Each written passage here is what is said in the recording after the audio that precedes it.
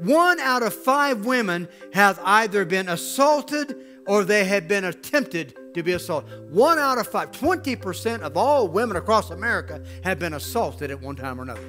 Now, something's wrong. Something's wrong with that picture. Listen to this one. Across the world, there are 1 billion women who have been raped or beaten in their lifetime. We've only got 8 billion people. A billion women have been assaulted, raped, or beaten in their lifetime. You tell me the morals haven't gone downhill? Come on, somebody. Uh, today's message, uh, I did this sermon, it's been about eight years ago, uh, but there's been so much happen uh, in rapid succession the last eight years that I want to do this message again. It's called A World in Crises. And if you are uh, on the telephone or on the internet or radio, whatever it might be, you can see that our world, we're in trouble. Is everybody with me today? Uh, but I want to make this point straight before we go any further. It seems or appears that things have got so far out of hand that not even God can save us. But in uh, Psalms 103, now, CJ, this just hit me a couple months ago, so I'm going to read this scripture. In Psalms 103, 19, if you have your Bibles, I, I want you to listen to this, what the Bible says. The Lord hath prepared his throne in the heavens, and his kingdom ruleth over all. You hear what I just said?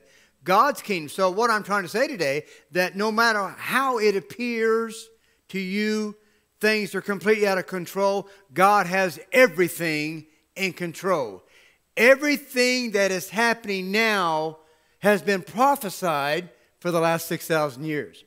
And as Seventh day Adventists, we've been waiting for this day, for this time, for this season, that we knew it was coming, and yet it's still a shock. We knew that the human values and morals would drop significantly before Jesus came, but not on this scale, not on this level. We knew through prophecy and Ellen G. Ellen G. White's writings that the morals would drop to an all time low. There would be evilness and darkness, but not to this level. Our world is in trouble. And the only way out today for those that are viewing this program, the only way out of this world alive is through the lovely Jesus Christ. Come on, somebody say amen. Let's go to our scriptures.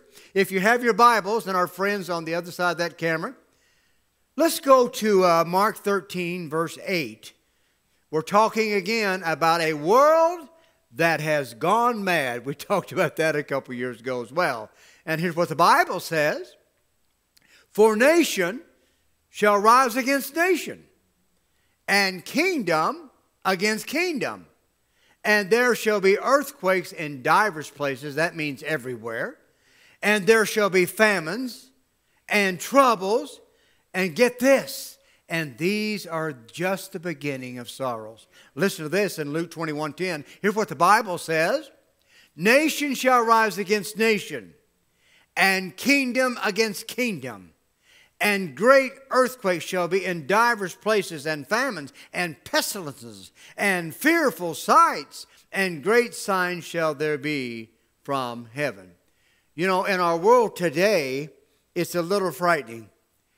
Uh, many, many years ago, we signed what we I call contracts with other nations. And in this contract, we'll make it very simple today, Here's what we said as all these nations came together. If one of our nations or country gets in trouble, we're going to be there for them. Now we come to the point, well, they're on their own. or we've got enough going on in our country. Things have changed. Violence has escalated. Crimes, not just in America, but across the world, are at an all time high evilness in the world today and darkness in our world today, it's never been this dark. Churches across the nations, the lights are going out. Christians are becoming dim instead of brighter. We're seeing that even in our churches today, that they're dying all across not just America, but the world. Is anybody with me? We are at an all-time low in our morals and testimonies for the church. Here's what my favorite writer said, volume 6, page 408. The restraining spirit of God is even now being withdrawn from the world. Hurricanes, storms, fires, floods, disasters at sea and land follow each other in quick succession. Even then, 150 years ago, my, fi- my favorite writer said, I'm starting to see events that are taking place that are unholy, they're unrighteous. Even nature itself is rebelling at the sins of mankind, and hurricanes and tornadoes and storms and pestilences are growing at a great and fast rate, destroying not only our morals, but our trees and our flowers and our waters are being polluted because men are evil, they're greedy, they're unrighteous, they're unholy, and these are all signs just before Jesus comes. Is everybody with me today? This is what we're looking at. Listen to this. We're seeing signs uh, going on. Uh, now, I don't know about all these different signs. Uh, the northern parts of the world, the ice is beginning to melt. You know, I don't know. I, I, I recognize that the weather is changing drastically. I'm seeing a lot of weather events that are changing in different places across the world. Weather that the different countries are having, I'm trying to make it clear, that they've never had before. We're seeing great events take place across the world. And listen to this science are trying to explain these different things, these different events that are going on across the world. Here's what they say they say the signs are thickening around us. They are telling us that this soon approach of Christ is very near. Even scientists are starting to think something's different than has ever been before. Even scientists are looking back saying these things shouldn't happen. Not here, not there, but we're seeing events globally. Flooding, fires are escalating at an alarming rate that not the insurance companies can't keep up. Even Pastor John Lomacang said there will come a time that these events of destruction are happening so quick that the insurance companies aren't going to be able to keep up. Is anybody with me? And this is what we're looking at in today's society. Listen to this. The San Diego Press print, printed this article way back in 2017. At this very moment, now we're talking uh, seven years ago, there are 127 fires burning across America. Two million acres have already been burned to cinder across America. And get this these are fires, they are scorching thousands of acres across nine states at the same time. Now, this is seven years ago. But listen to this right here. The year 2017 produced a record epic proportion of fire never before seen in human history. Hurricanes of catastrophic events have taken place. These are the worst, now we're talking seven years ago, the worst hurricanes that have ever been recorded that man has ever seen. Jesus is about to come. Is anybody with me? Listen to this. The paper quotes, Isn't it obvious? They say. These are the signs of the end. These events are written in your Bible. These events, this paper writes, are in your Bible. Wake up. Is anybody, is anybody with me today? This is what, Then this and that. Jesus prophesied and warned of these events, and they are being filled right before our eyes, and yet it's hard, even for the Seventh day Adventists, to grasp the concept that Jesus is just a breath away. That all these signs, now, are these signs here, Carolyn, to scare me? to frighten me. No, they're warning signs. Have you been reading your Bible? I'm about to come and receive my church. Wake up, for the time is nigh. Listen to this. Now, get this, Brenda. The floods across the world, we're going to go back to 2016 now. The floods across the world and in America were the most ever recorded in history in 2016. In Louisiana, now, this is what went on. I'd forgot some of the events that had taken place. In Louisiana alone, there were 60 thousand structures destroyed by flood, and it cost Louisiana $10 billion. Now, we're talking a few years ago. I want to remind you that things have escalated at a faster rate since then. Now, get this. In 2016, there were 160 natural disasters of epic proportions that the world has never seen. Across the world, 750 natural disasters happened in 2016, destroyed millions of homes, millions of acres, and thousands were killed worldwide. And we just look at it and say, Boy, that's, that's bad. No, it's a warning. It's more than bad. It's a warning Jesus is about to come. Now, now think back. Now, sometimes we forget. It seems like we try to put these natural disasters out of our head because we don't want to think about them. But listen to this here. And now we're going to go back to 2016, 2017, 2018. Listen to this hurricanes. We remember Harvey and Irma. But what about Arlene hurricane? What about Bret? What about Cindy? What about Don? What about Emily? What about Franklin? What about Gert? What about Rina? What about Sean? What about Tammy? Hundreds of hurricanes have come and went, and we just sort of toss them to the side. Literally hundreds, one catastrophic event after another. Get this one here, Brenda. Now listen to this tornadoes. I'm still afraid of tornadoes. I'm still afraid of them. Gary and Rosemary will text me and say, it don't look good tonight. We got one coming. Oh, it's dark on the lake. I think, oh my. But listen to this. In the first three months of 2017, America had tornadoes were sighted 400 in three months. The normal sighting up until then was 145. It jumped to 400. Is anybody with me? Ellen G. White said that hurricanes, tornadoes, and these events of catastrophic events would escalate rapidly right before Jesus come. Uh, in the manuscript, volume 19, page 280, here's what she said. Local disturbances in nature, they are permitted to take place as a symbol of that which may be experienced all over the world, as the four angels will cease to hold back the winds of strife. There are right now four angels around this globe that are holding back the last winds of strife. But we're starting to feel the breeze. Am I with me? We're starting to feel the breeze. If you go to Revelation 7, 1 through 3, here's what the Bible says. Not what Pastor Donnie said. This is what the Bible says. And after these things, I saw four angels. Now, this is John, the Revelator standing on the four corners of the earth. And they were holding the four winds of the earth, that the wind should not blow on the earth nor the sea or any tree. And I saw another angel ascending from the east, having the seal of the living God. And he cried with a loud voice to the four angels who were holding back the winds of strife, to whom it was given, Don't hurt the earth and the sea yet. Come on.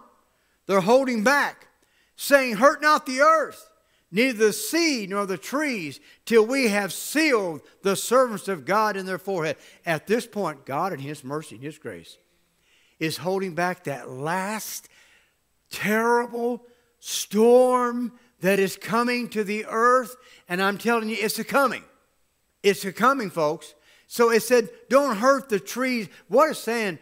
Don't hurt my servants hold back, protect them, keep them safe, because I got more babies that are going to be born into the kingdom. And until I say, stand back. And here's what Mrs. White said Eventually, the angel will tell the four angels to stand back and then let the devil come in and do his havoc. The only reason the devil hasn't just destroyed this earth already is because of God's mercy. He's holding back the last four winds of strife what does it mean, four winds? It's coming from every direction north, south, east, west. When it all breaks loose, as the man says, all hell will break loose upon this planet and the devil will have his way. Whew. Lord have mercy.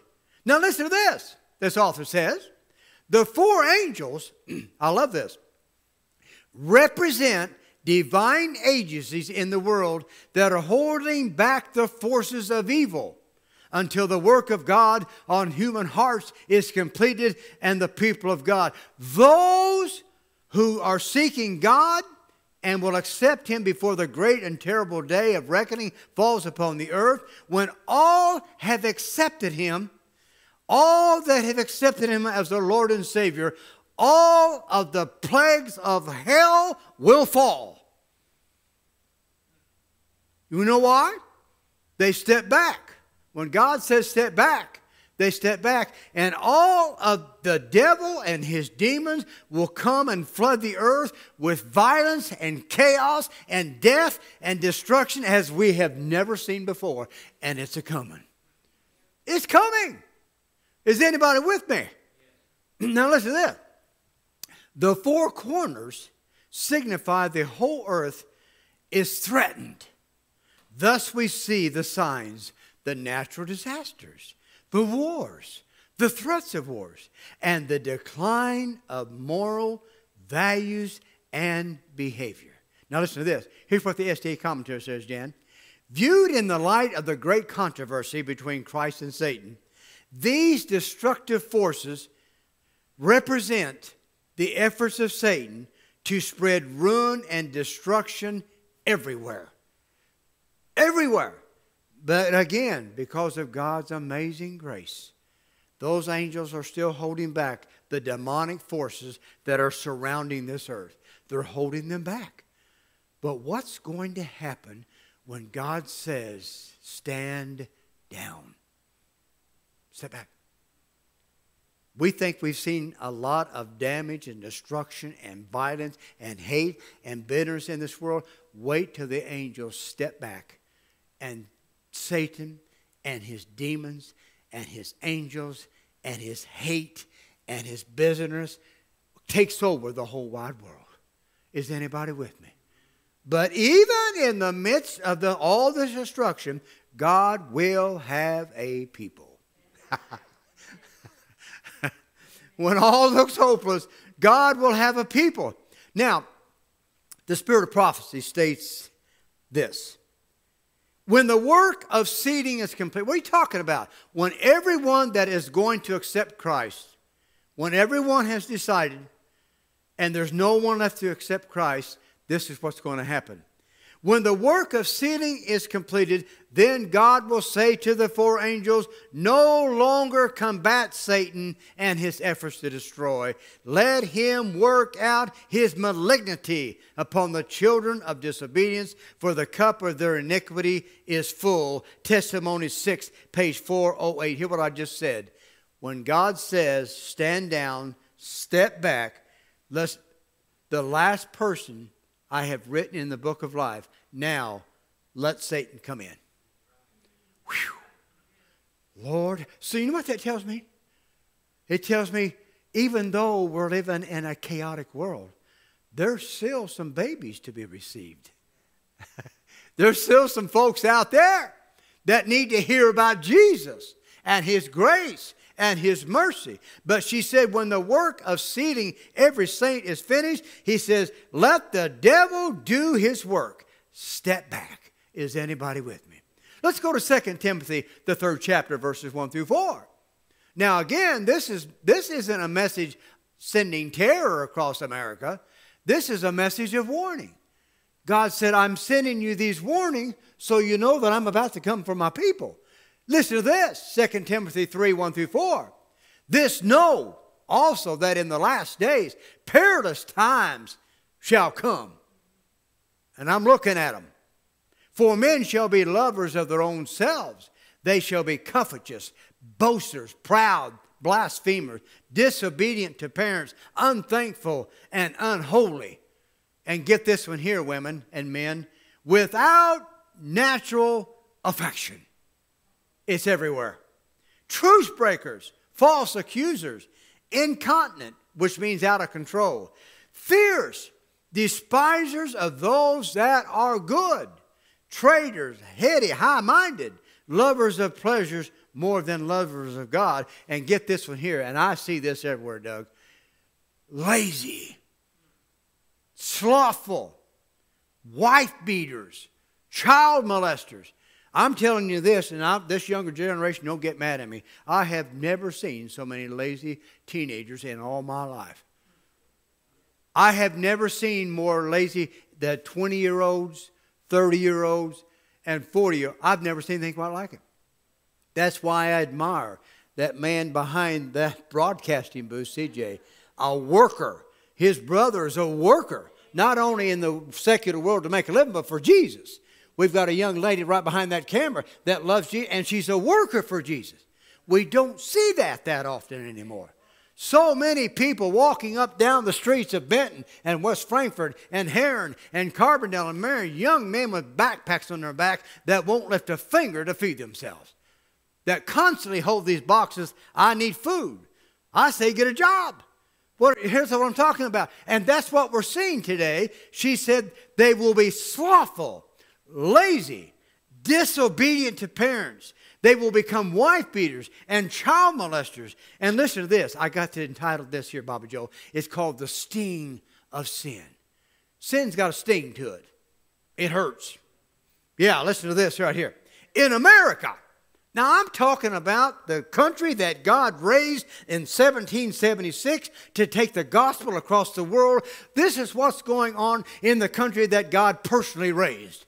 Listen to this. In America, in 2015. There were 670,000 children in foster care because the parents had discarded them. Due to deadbeat dads and moms, due to divorce, over 150,000 were left on street corners. Lord have mercy. Get this. Every year in America, the country that God raised, there are 960,000 reports of domestic violence in the home. Alcohol, drugs, poverty, and I'm going to say it again deadbeat dads. Deadbeat. Lord have mercy. Listen to this right here. Every two minutes, I'm talking about America, Jan. I'm not talking about across the world. Every two minutes, get this, a person is sexually assaulted. Before this message is over, there'll be 30 women that are sexually assaulted in America. One out of five women have either been assaulted or they have been attempted to be assaulted. One out of five, 20% of all women across America have been assaulted at one time or another. Now, something's wrong. Something's wrong with that picture. Listen to this one. Across the world, there are one billion women who have been raped or beaten in their lifetime. We've only got 8 billion people. A billion women have been assaulted, raped, or beaten in their lifetime. You tell me the morals haven't gone downhill? Come on, somebody. Listen to this. Homeless men and women in just New York City. There are 4,000 people in just New York City that are walking around, they're homeless. They sleep on the streets. They sleep in parks. They sleep in dark alleys. They sleep in cardboard boxes. They sleep in front of the Empire State Building, in front of Macy's, in front of Madison Square Garden. Lord have mercy. There are 80 camps in New York City camps that are full of hungry, tired, forgotten people with no hope. Their dreams have perished. They are outcasts and they are drug addicts, and no one cares. Whew. Something wrong with us.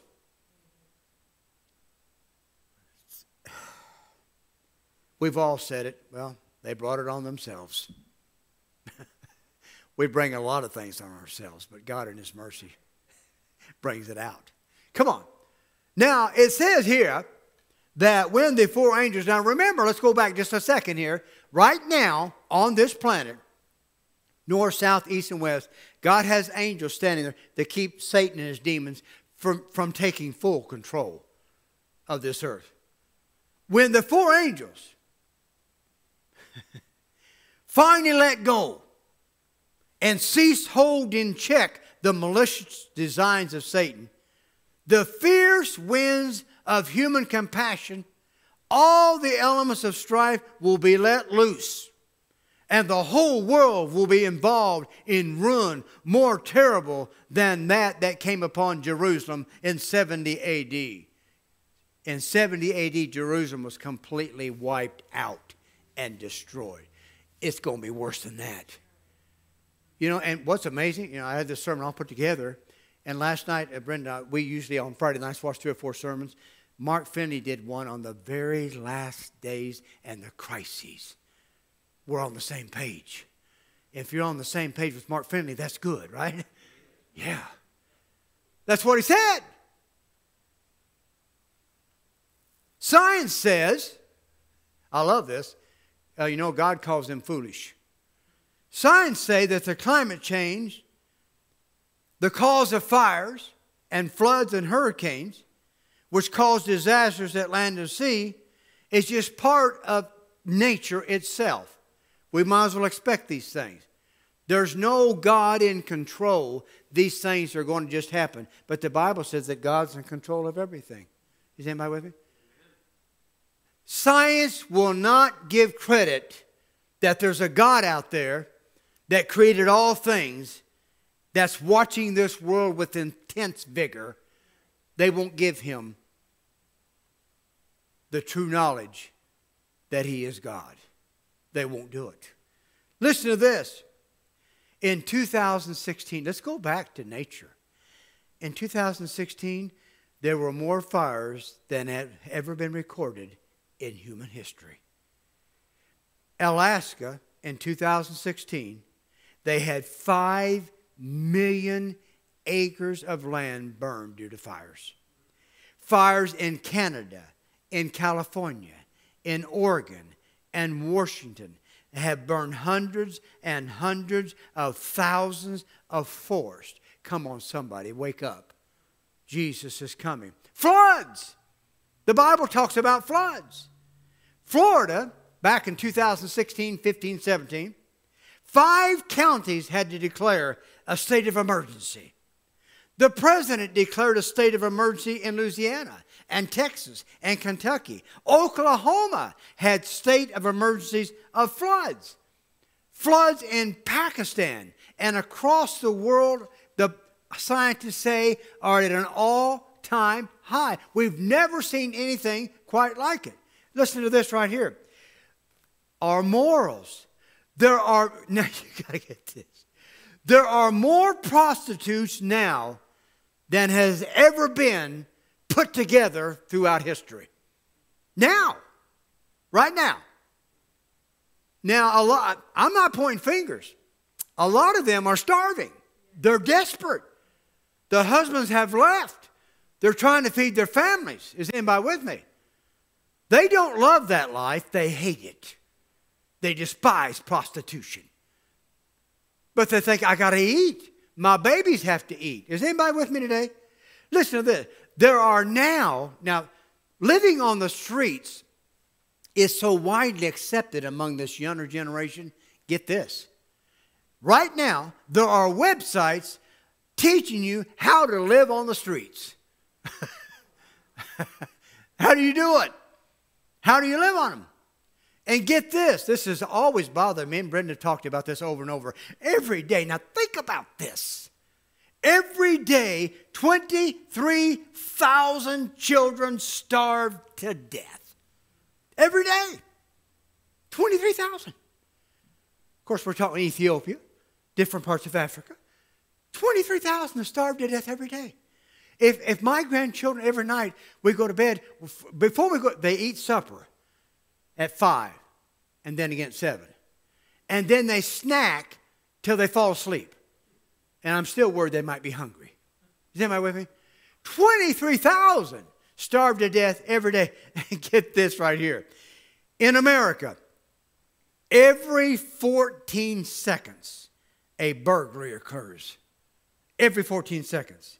In America, because of these, these burglaries, It's cost us four and a half billion dollars a year, and the taxpayer pay it. Us. Because of the burglaries that take place every 14 seconds. Eh, in America, and I'm one of them, I now have an alarm system. I got one. I admit it. Listen to this. after our church got robbed of all of our equipment, I said, We got me an alarm system. But listen to this one in five homes in America have alarm systems. And yet, two and a half million homes are burglarized every year. Doug, you're going to love this one. Every day in America, 2,500 cars are stolen. Every two minutes, a car is stolen. And the Bible says don't steal. Every two minutes, someone, their car stolen in America. Drugs. Listen to this one. There are 22 million drug addicts in America today. In the last 16 years that we know of, 183,000 people have died because of overdoses. You think our morals haven't declined? Is anybody with me?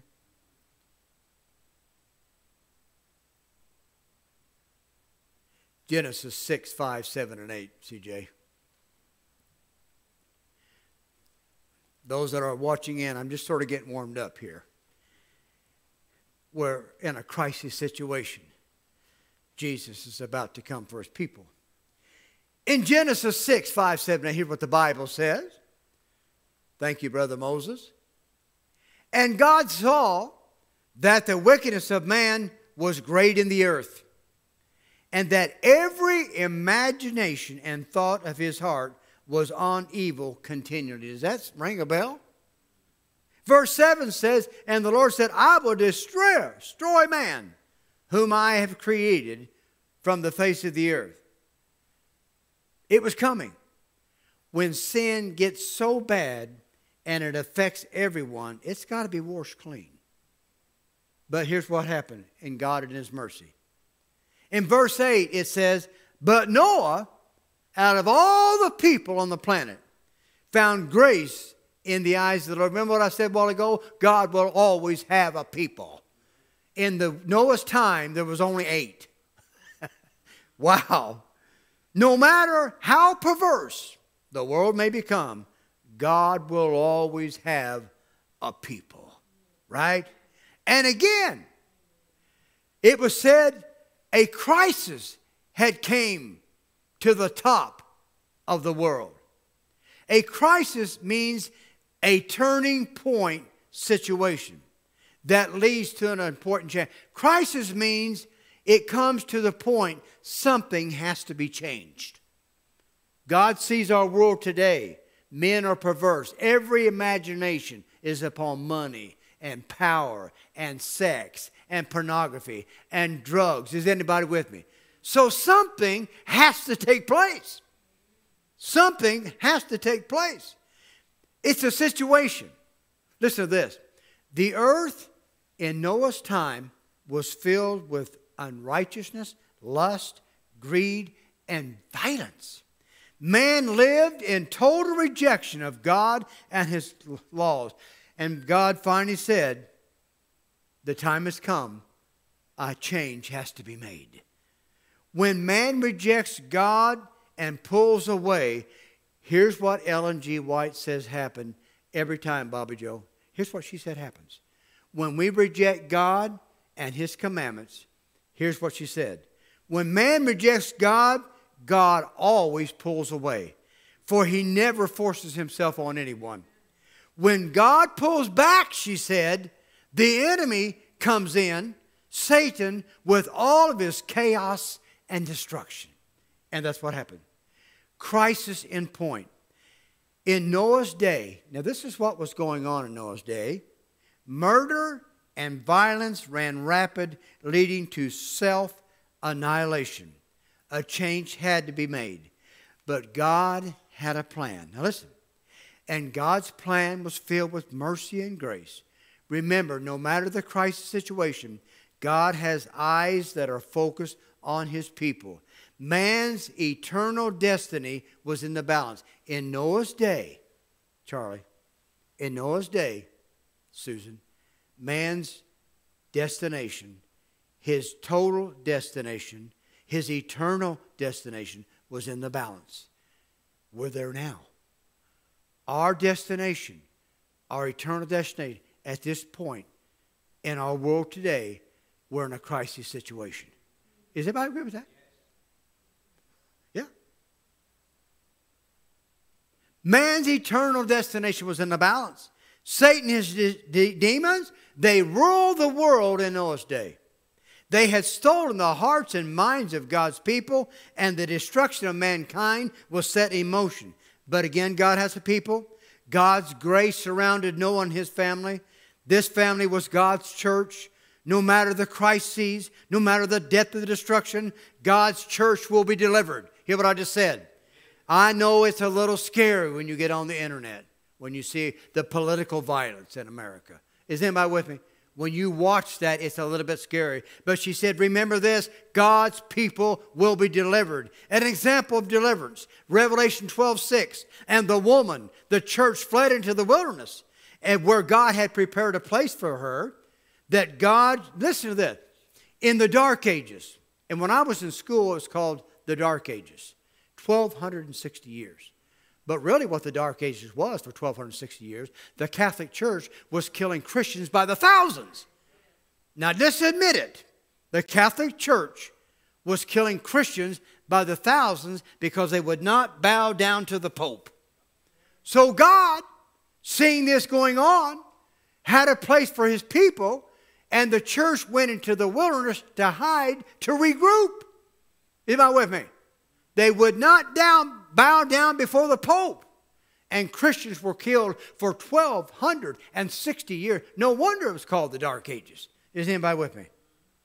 In this period, this author says, known as the Dark Ages, lasting 1,260 years, God's church suffered persecution beyond imagination.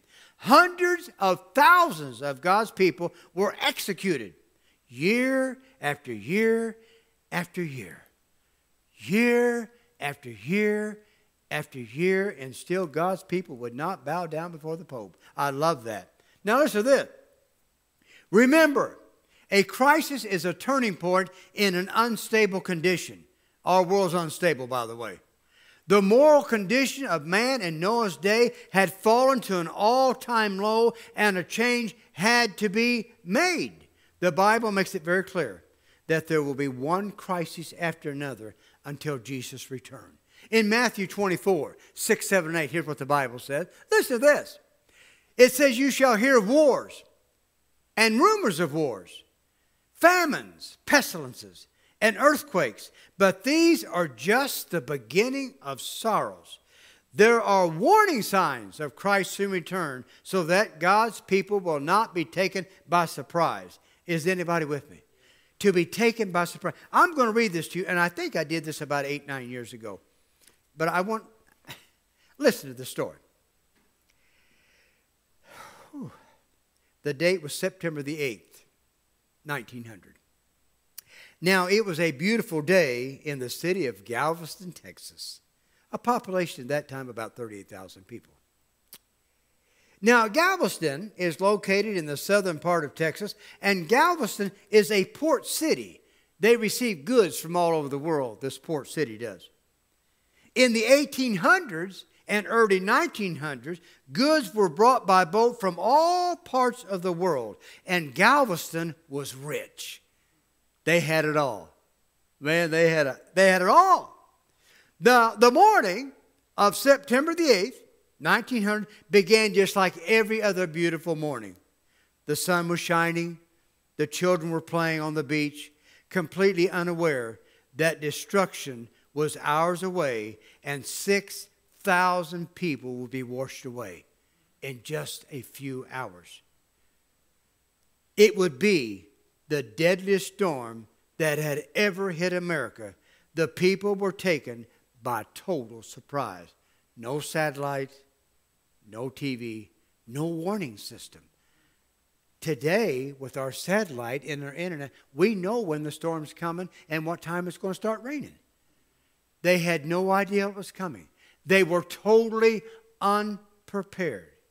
But God, on the other hand, through Scripture, has warned of his soon arrival. He uses crisis situation to warn of a soon coming. It talked about wars and rumors of war. What about the Great Depression of 1929? What about World War I? What about World War II? What about the confrontation? Listen to this regarding nuclear missiles between President Kennedy and Fidel Castro in 1960. I remember that. These are situations, crisis situations. The, and here's why, Brenda, we have Jerry and Jeannie. This is why we have crisis situation. It allows God to get the attention of the whole world. I told you it was coming. Get ready. Eh, get this. And I remember this event like it was yesterday in 2004. An earthquake centered in the Indian Ocean sent waves over 3,000 miles, killing thousands of people. Remember that? Get this. Now, you talk about shaking you up, Jan, Bill. In an Italian who studied that earthquake. He said it shook the whole world. It altered the axis of the earth's rotation. This quake was 23,000 times more powerful than the bomb dropped on Hiro- Hiroshima.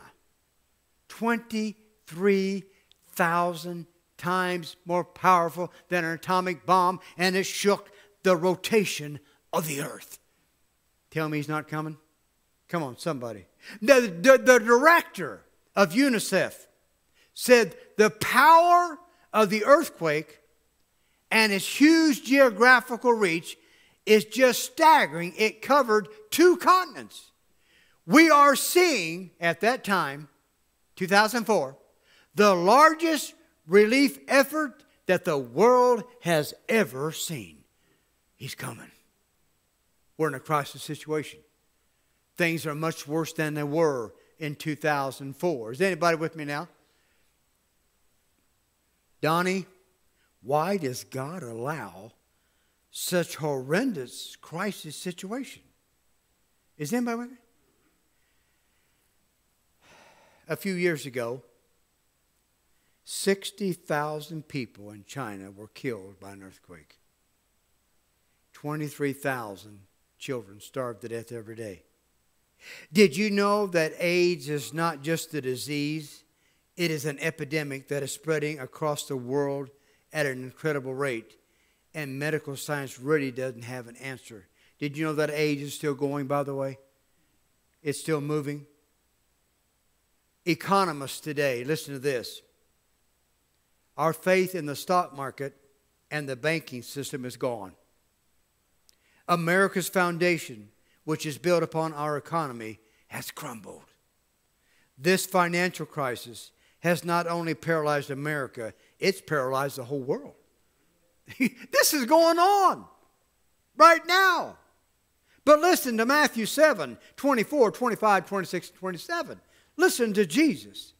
Therefore, whosoever hear the sayings of mine and doeth them, I will liken them unto a wise man which built his house upon the rock.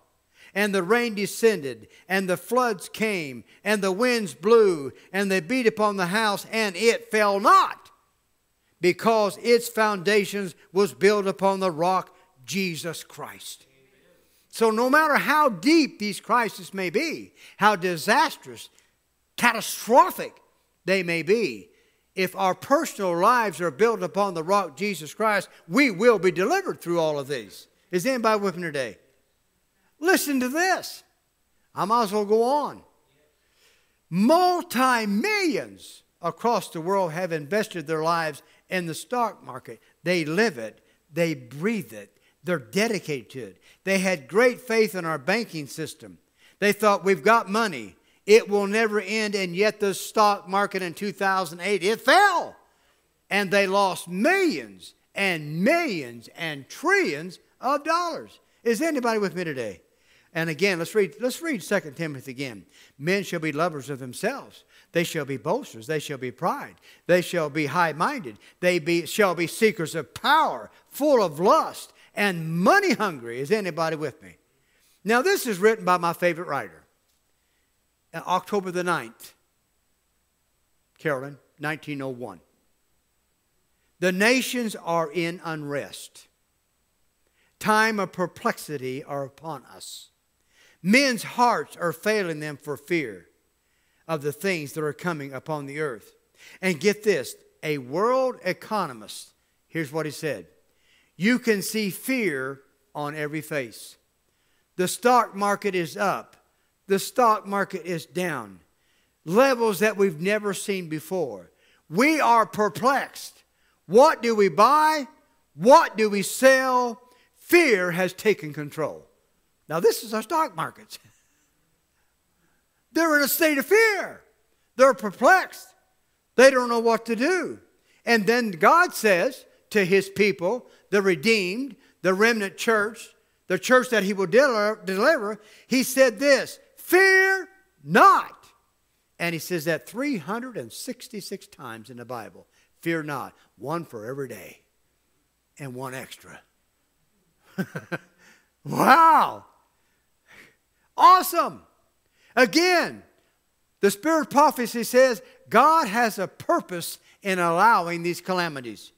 They are His means of calling men and women to their senses. That's what she said.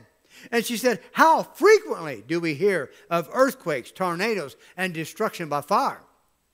Destruction by flood, the loss of property, and the loss of life. These are among the agency by which he seeks to arouse men and women. You are in danger. You are in danger. The last, here's what she said. As we close here, CJ, listen to what she said. The last great crisis is at hand. Whew. Now, this is 150 years ago. We are standing at the threshold of the crises of the ages. In quick, now, my Seventh day Adventist friends out there, listen to this. In quick succession, the judgments of God will follow with fires, floods, earthquakes, war, bloodshed. He allowed these to happen to get your attention. Listen to Romans 14, 11, and 12 as we close, Doug. Listen to this. And that knowing the time, that now is high time. You know what that means in the Bible? In the Greek, it means high time means the time of greatest importance. Paul said, when you see these things come, it's the time of greatest importance. He said, Wake up out of your sleep. He's talking to the church, Gary to the church. For now is our salvation nearer than when we believed. The night is far spent, the day of God is at hand. But we, as God's children, Charlie, think about this. We should have no fear. Just as God provided Noah safety and his family in the flood, he will save his people. He has always had a people, and in every crisis, God has had a people. And this author says, God promises us we will be delivered. Awesome. Awesome. Brother Doug, would you have prayer for us, please?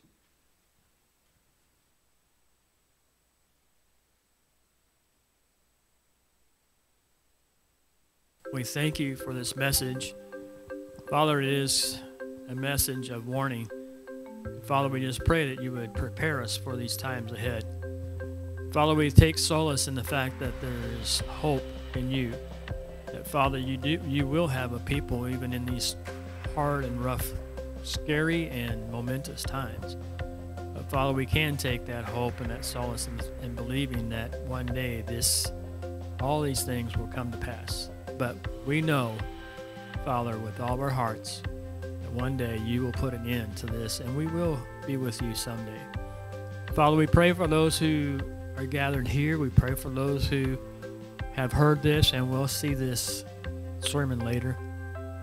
Father, will you draw near them? Will you open their hearts and their minds to these beautiful truths that, Father, that they will take this warning to heart also and to look to you for their salvation. Father, we thank you for your mercy, your grace, once again, in your love that you give us each and every day. Every day. And Father, we thank you. In Jesus' name, amen.